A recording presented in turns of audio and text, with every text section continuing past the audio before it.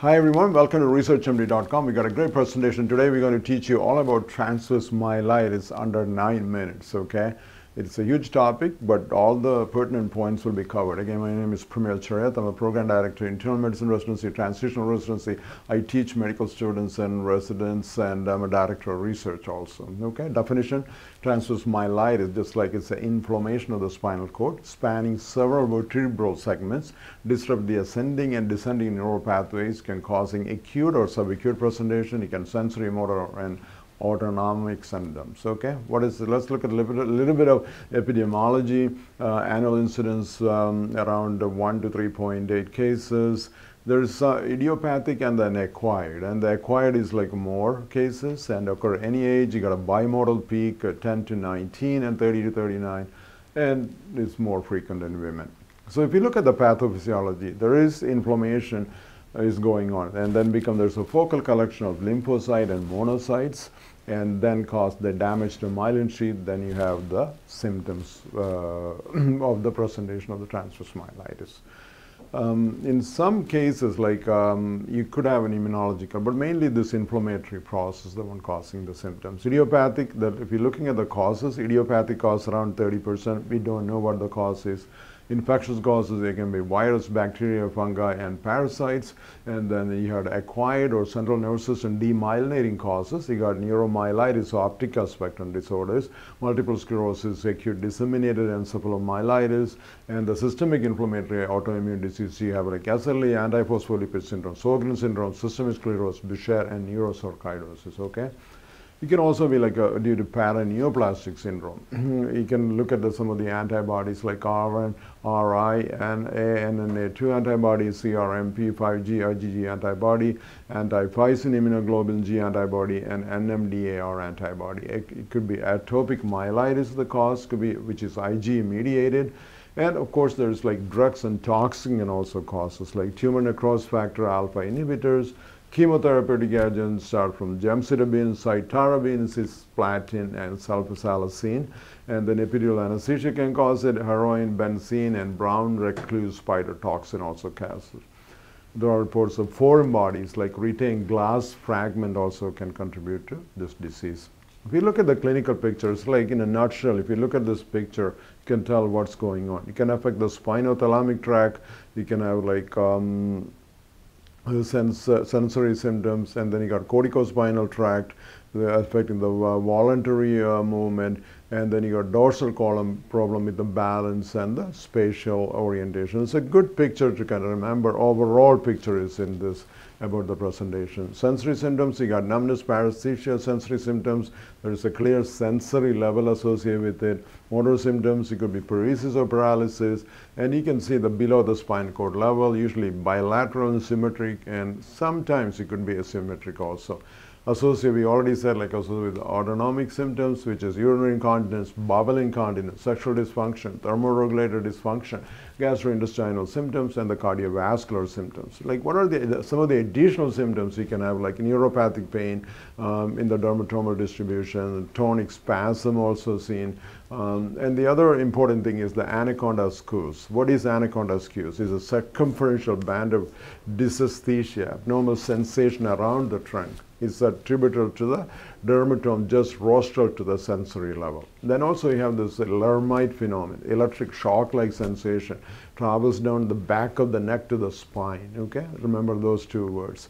Physical examination, you look for the um, uh, uh, look for the oculomotor manifestation. You got common demyelinating disease affecting like brainstem and the cerebellum. And then neurological examination, sensory levels, sensory examination, decreased vibration, temperature, pain, proprioception.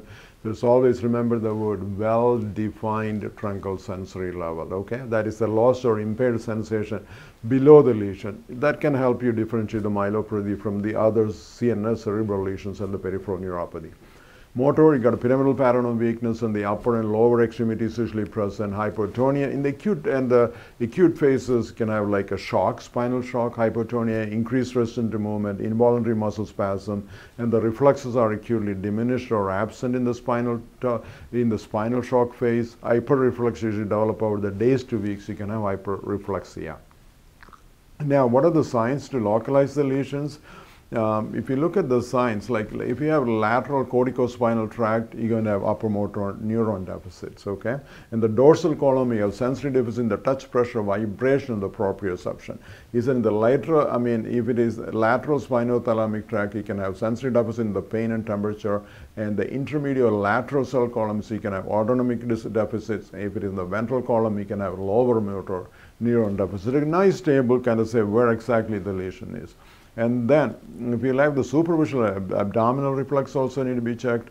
All reflex are present and will be present in the, if the lesion below T12, okay? Only upper and uh, middle abdominal reflex will be present, lesion at the below, lesion at or below the T10 segmental cord level. And all superficial abdominal reflex will be absent if the lesion above the T6, okay? So all the superficial abdominal reflex will be gone if the lesion is above T6. Now other reflexes like cremasteric reflex, which is L1, L2 absent, then you can say lesion is at the L2 segment cord. In the bulbocavernous reflex, S2, S4 is lesion at the S2 segment level. Anal wink reflex, you can see lesion at the S2 segment and the Beevor sign positive is the lesion, I mean lesion at the level of T10, 12, T2. So what is Beevor sign? You ask the patient to lie, I mean, in a supine position and then ask to flex his neck and sit up from the recumbent position. Umbilicus, we look at the movement of the umbilicus, okay? If the umbilicus um, movement upward is a positive Beevor sign, that indicate level at T10, T12 spinal cord. And then complete transverse myelitis, get acute or subacute spinal cord inflammation, all spinal cord tracts leading to following symptoms like paresis, sensory dysfunction, symmetric uh, loss of autonomic dysfunction.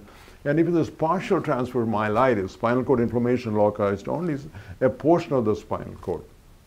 There's few types. We're going to go really fast. There's Brown-Séquard syndrome, dorsal cord syndrome, subacute combined degeneration, central cord syndrome, conus medullaris, anterior cord syndrome, and spinal shock syndrome. So hemicord syndrome, you got below level, you got ipsilateral and contralateral, paresis, impaired vibration, proprioception, pain and temperature sensation loss. If it is dorsal column traxar, you uh, got bilateral dorsal column, bilateral loss of vibration, proprioceptive sensation, Lhermitte phenomenon, and subacute combined degeneration. Tracts are usually you know, bilateral dorsal column and corticospinal tract, sensory loss of vibration, sensation, uh, and then central cord syndrome, tracts are involved is crossing spinothalamic fibers and corticospinal tracts, dissociate sensory loss, diminished pain and temperature, intact vibration, saddle sparing sensory um, loss, and upper motor neurotic weakness. And the conus medullaris syndrome tracks is sacral autonomic nerves are involved. Okay, can have saddle pattern of sensory loss, mild weakness,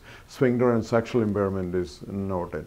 In the anterior cord syndrome, you got bilateral flaccid weakness, autonomic dysfunction, and pain and temperature, vibration, and the proprioception sensation remains intact, and dorsal columns are spared. So when the, I mean, the spinal shock in the early phase, confused with the Guillain-Barré syndrome, but spasticity, hyperreflexia, extended plantar response may appear after a few days to weeks. Diagnosis, a diagnosis like uh, mainly based on the clinical and the physical examination. You can do, see, I mean, uh, CSF pleocytosis, the CF IgG level, gadolinium enhancement on the MRI, is present. In the diagnostic criteria, we put a nice table right here, bilateral symmetric sensoromotor autonomous spinal cord function, clearly defined sensory level, progression to nadir to clinical deficit between 4 hours to 21 days, demonstration of spinal inflammation, cerebrospinal tract pleocytosis, and exclusion of the other compressive post-radiation neoplastic and vascular causes. And the complications be many, um, could be respiratory failure, dysphagia, gastroparesis, neurogenic bladder, dysfunction, movement disorders. So first line treatment, high dose IV steroid, high dose, that's the word we're looking for. Plasma exchange is the next treatment. And then uh, you have um, the complications of the plasma exchange is like hypotension, electrolyte imbalance, and coagulopathy. So the treatment high dose IV steroids and plasma exchange. Thank you so much for watching our presentation. Please subscribe to our channel. Thank you.